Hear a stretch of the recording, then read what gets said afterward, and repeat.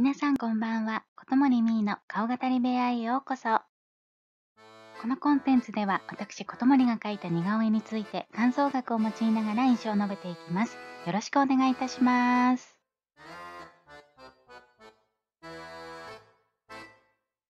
それでは第16回目のテーマとなるお顔は、こちら、吉田洋さんです。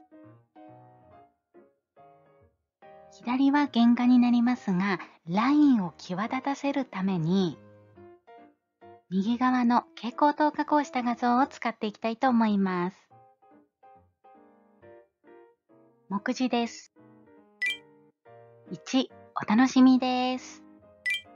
2、頬骨。3、鼻。4、人中、口。5、例えるならば、この5項目でお話ししていきたいと思います。お急ぎの方は概要欄に各項目の時間を入れておきますので、興味のあるポイントまでジャンプしてください。それでは、吉田洋さんのお顔で最も印象的な場所はどこでしょうか？それは、硬さです。こちらのお顔、各パーツが動かなそうなんです。このように。そう、まるで石でできているようなびくともしない硬さを感じるんです。おかげで筆が迷わず1回で線を捉えられたというのはありますが、反対に見るたびにパーツが動いて動いて捉えられない人というのもいます。それはこちら。メンタリスト DAIGO さんです。彼は目の左右差も相まって安定しないお顔立ちです。〇〇な人だと言い切るのが非常に難しいお顔です。もしかしたらもともと持っている素質と知識の鎧を着た自分とでかなりギャップがあるせいかもしれません。弱いから強く見せたい。強いという成分は研究すれば身につけられる。直感は効かないから論理的に捉えよう。そんな心理が働いているのかもしれません。もしかしたら彼はメンタルグラグラ、弱なのかもしれません。一方、吉田さんは揺らぎのない今日なのだと思います。明けっ広げで私は私、そういう感じがいたします。それでは次です。次に吉田洋さんの顔で特徴的なのは、頬骨です。こちらの頬骨、張っているんです。このように。そして前に張っているか横に張っているかで言うと、前になのでございます。頬骨が横に張っている人といえば、そう、大政彩さん。彼女はこのように横に頬骨が出ています。このようなタイプは熱いものを内に秘め、控えめで忍耐強いと言われています。そして位置的に上が発達しています。このような人は頑固で勝ち気であると言われています。では、吉田さんはどうでしょうか？吉田さんは中央が張っています。ちなみに下が張っている有名人は安室奈美恵さんです。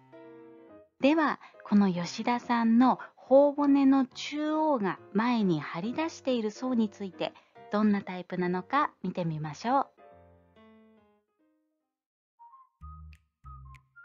頬骨の中央から下が高く出ている人って？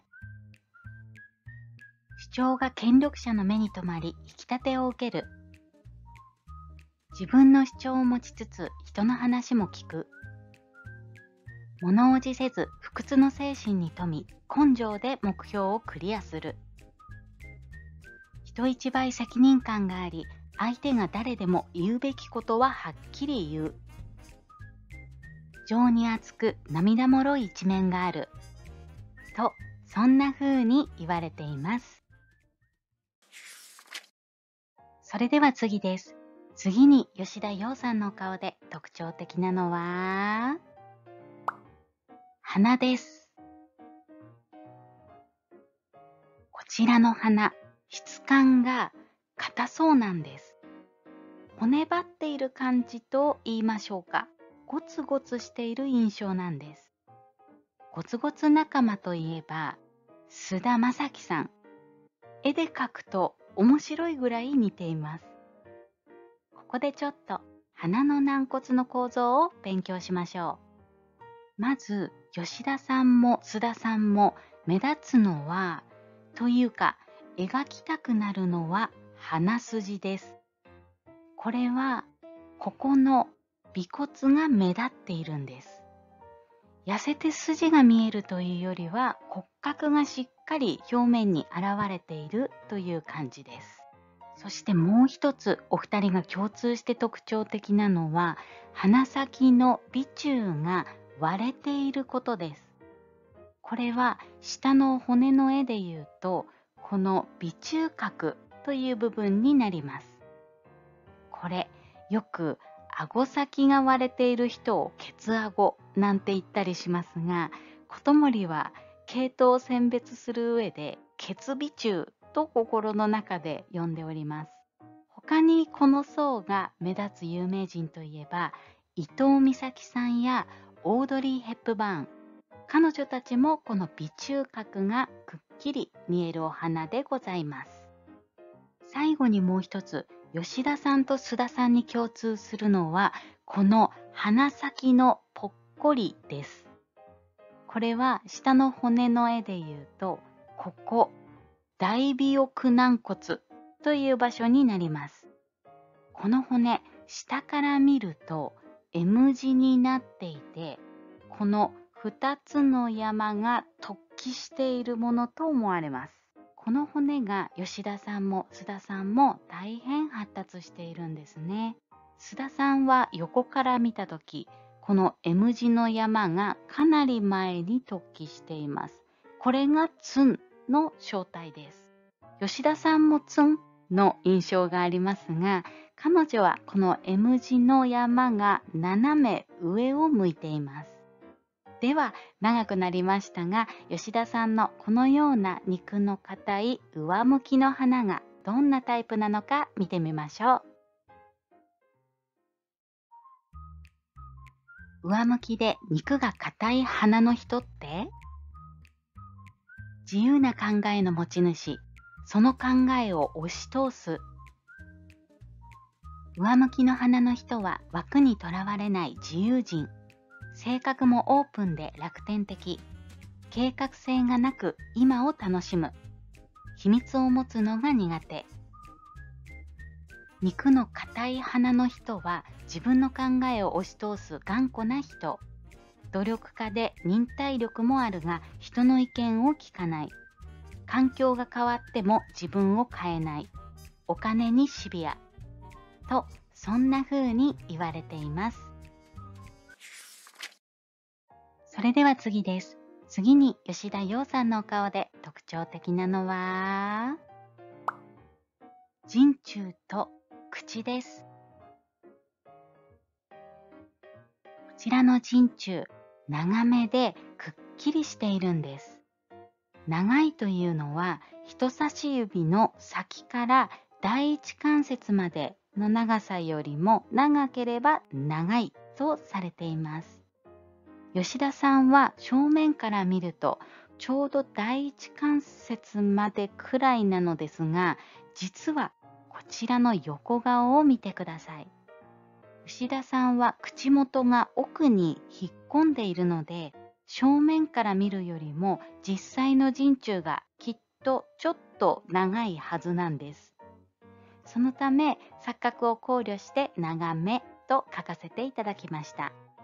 そしてこちらのお顔、陣中をピッと書いてやっと吉田さんの雰囲気が出てくるぐらい存在感のある溝の深い陣中でございます。陣中は書いた方がその人らしさが出る時と書かない方がその人らしさが出る時があります。そして書いた方がいい人の場合は彫刻刀で彫るとしたらどれかなということを考えながらこともりは書きます。こちら彫刻刀セット。今も学校の授業で使うでしょうか名前は左から切り出し、平刀、三角刀、丸刀、丸刀でございます。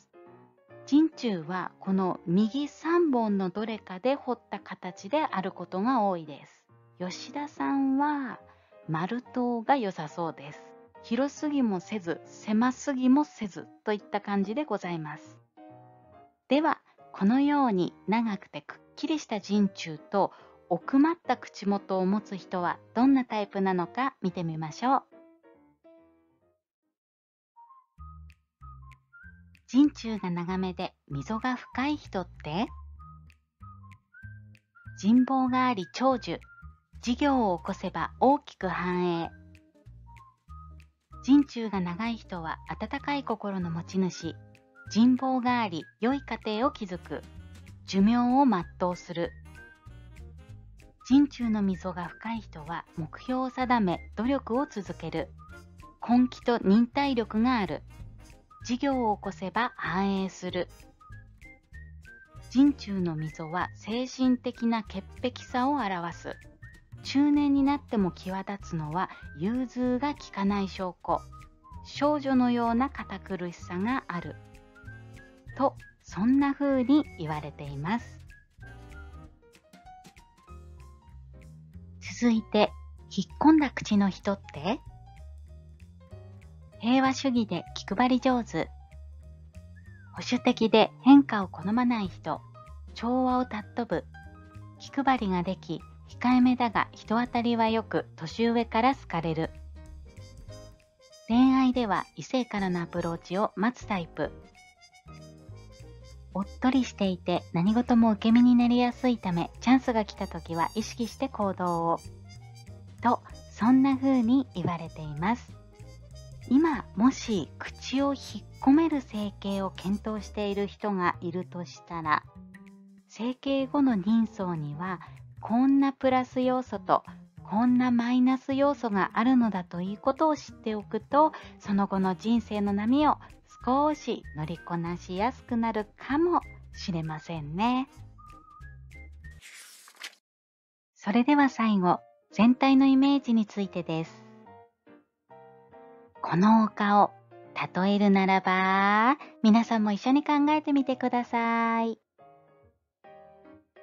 ユリ、カサブランカと正義の女神、ユースティティアとポメラニアンです。いかがでしょうか？まず、お顔から連想したユリについては、花言葉を調べて納得でした。純潔、威厳、無邪気。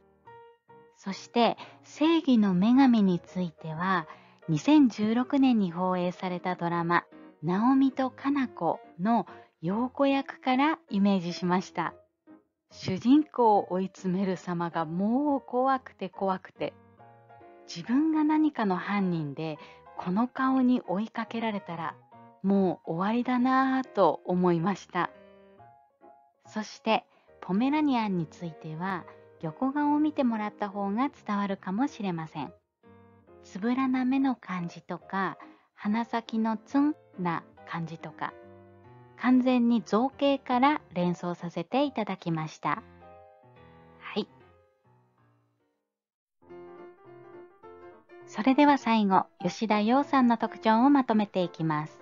特徴1、硬い。各パーツが動かなそう。特徴2、頬骨。前に出ている。これは根性で目標をクリア。権力者の目に留まる。責任感強。と言われています。特徴3、鼻。鼻が上向き、そして肉固め。まず上向きということについては自由人、計画性がなく今を楽しむ、オープンマインドと言われています。肉が硬い花というのは頑固、環境が変わっても自分を変えない、お金にシビアと言われています。特徴4、人中と口。まず、長く深い人中、そして引っ込んでいる口。まず人中については、人望あり、長寿、精神的に潔癖で少女のようなところがあるとされています。そして引っ込んでいる口については、保守的、平和主義、気配り上手、控えめ、受け身と言われています。そんな彼女を例えるならば、正義の女神とゆりです。そして彼女におすすめの犬は、お顔が似ているポメラニアン。いかがでしょうか？はい。これらが私、こともりが吉田洋さんのお顔から受けた印象のすべてでございます。れでは最後の最後、実際の人相読み視点で今回のテーマのお顔を締めくくりたいと思います。保守的、平和主義、気配り上手、控えめ、受け身。根性で目標をクリア。権力者の目に留まる。責任感強。自由人、計画性がなく今を楽しむ。オープンマインド。頑固、環境が変わっても自分を変えない。お金にシビア。人望あり、長寿。精神的に潔癖で少女のようなところあり。いかがでしたでしょうか？私、こともりの感じた印象は皆様の抱いているイメージと近かったでしょうか？今日はこともりの拙い顔語りにお付き合いいただきありがとうございました。チャンネル登録よろしくお願いいたします。